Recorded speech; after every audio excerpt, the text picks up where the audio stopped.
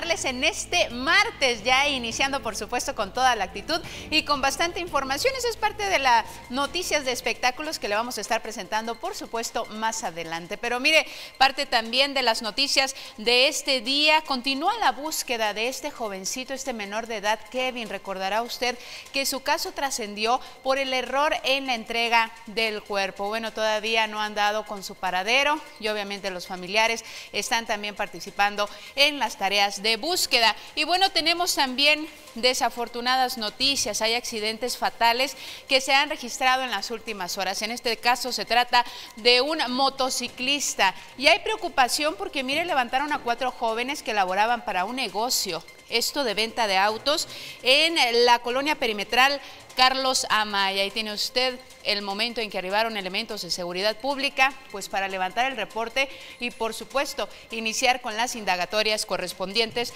a este caso. Anuncian reforzamiento de programas especiales, mire, esto es en la zona occidente del estado de Chihuahua para reducir los índices delincuenciales que van al aumento en estos momentos. Y bueno, vamos a estar hablando también de temas relacionados con la regularización vehicular y los vehículos sin placas que circulan por allá en Chihuahua capital, que aseguran pues son los menos. ¿eh? Así iniciamos tres horas de información. Aarón Sánchez, ¿cómo estás? ¿Cómo amaneces? ¿Qué tal? Buenos días, compañera. Permítame decirle que qué guapa viene el día de hoy. Muy ¿eh? de rojo. Viene echando tiros el ¿Eh? día de hoy. ¿Qué tal? Y bueno, pues ni modo, yo me tengo que sacrificar aquí todos los que estamos aquí en el estudio. ¿Qué hacemos?